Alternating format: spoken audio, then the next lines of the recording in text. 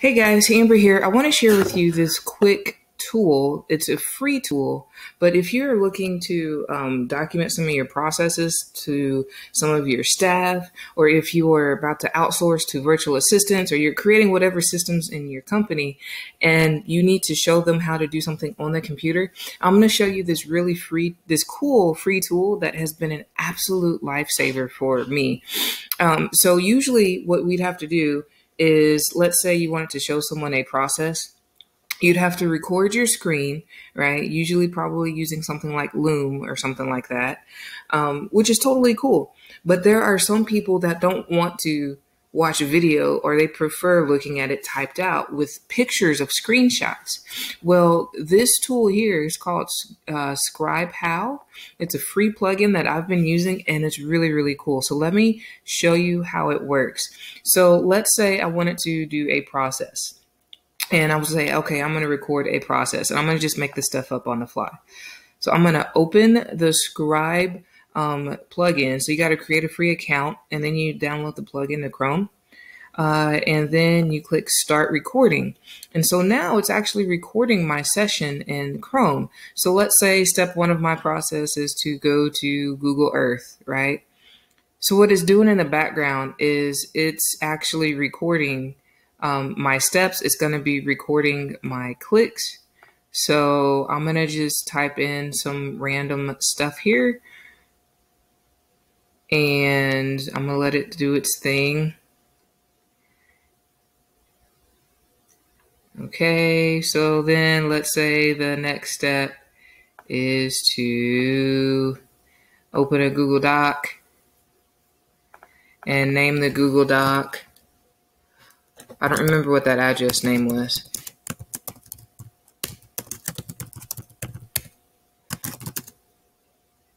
Okay, and then let's just say this is the next step. Okay, so I just did some random stuff, right? So the next thing I'm going to do is I'm going to come back to Scribe and I'm going to tell it to stop recording. So now what it's doing is it's taking all of my link clicks that I just did and it's creating it's creating a document like a SOP document. Okay? So let me turn off let me move myself over here. Okay. So that's the title. The title is kind of yucky, right? So let's just say this is a test how to. Okay. All right. And it tells you it's 10 steps and it took about 56 seconds to complete. It'll tell you what links are needed.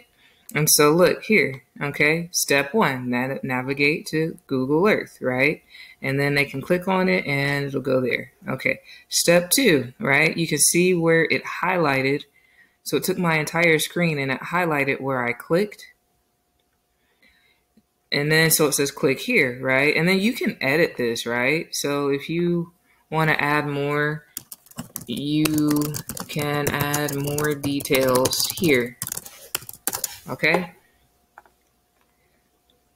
So then, like I said, it shows all of the things that I clicked. And let's say I say, oops, I don't need that here. All right, I don't need that step here.